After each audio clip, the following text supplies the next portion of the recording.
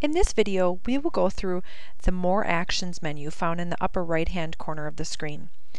This button, along with the Edit Page and Create Page buttons, are only available for people who have either collaborator rights or owner rights. This will not um, appear for viewers.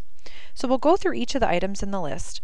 Um, and let's take a look at, let's go to our monthly reports page. Okay, so if the first item in the list is a revision history, this will give us the history of any changes that have been made to our page.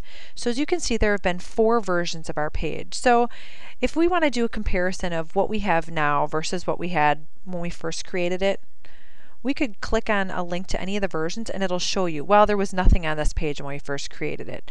Versus today, if we click on the current version, this is what we have at the top of our file cabinet.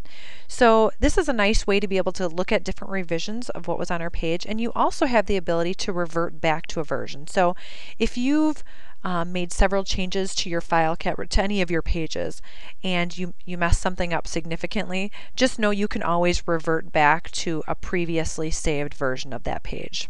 Okay.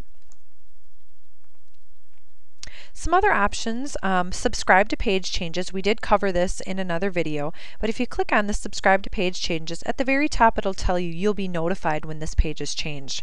So anytime there is any type of change made to that page, you'll get an email notification almost immediately um, telling you about that change. So um, this is nice if you want to keep track of anything that's changed on a particular page, maybe a file cabinet. Anytime a new file is added, you want to know about it, you may want to subscribe to the page changes. You can also unsubscribe the same way. So if I go to More Actions and click Unsubscribe, it will say you will no longer be notified. There's also a page settings option, and this um, is different for every type of page. So a file cabinet, a web page, a list page, they're all going to have different types of settings, um, and that's something that you can check out on each of the different types. You can print the page, um, which is pretty self-explanatory. You can move the page, and, and moving a page, I think, is a is a very powerful tool that um, will be used more often than not.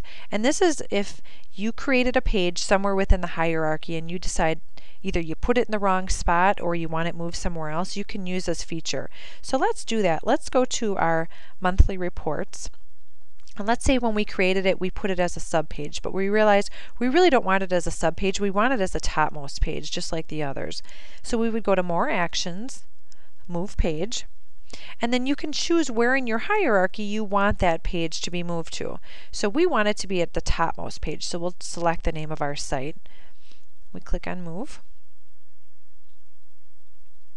and it says here monthly reports has been moved under Europe IT management team meaning now as you can see it's a topmost page. So that move page feature is going to come in handy a lot. Um, there's also the ability to delete a page. So let's say um, we want to delete our monthly reports we're no longer using it. So we will delete the page and it's going to ask us, are you sure you really want to delete this page? And it's saying, deleting this page will also delete this associated file with it. We're going to say, yep, we want to delete it. So now it's gone. And the next day, someone comes to you and says, hey, where's that monthly reports page that we had? And you say, oh, I deleted it but knowing that you can retrieve it. So the nice thing about deleting content within a Google site is that it is always retrievable. So to retrieve it, we use this, this process. We go to More Actions, we click on Manage Site,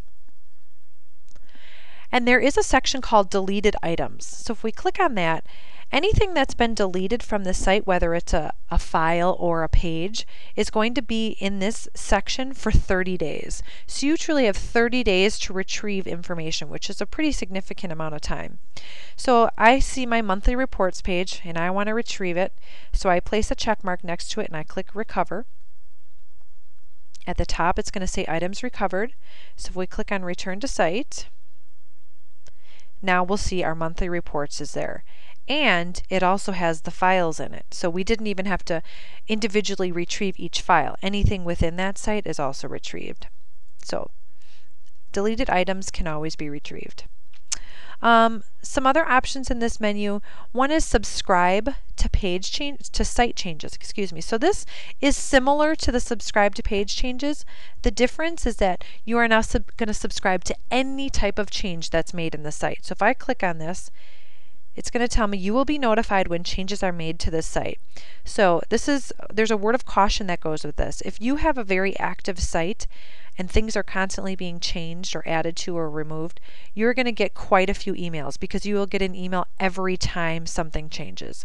So this is nice if you maybe only have one or two people that are supposed to be uh, making changes to a site and you want to know about those changes, maybe then you'll want to subscribe. But if you have a lot of people that are changing content a lot of the time, you may not want to subscribe to the entire site changes. So you may unsubscribe, which is the same thing.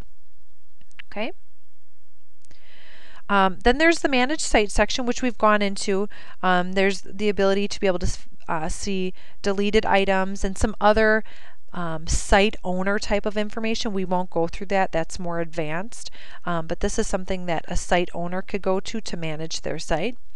And then the last option is to share the site.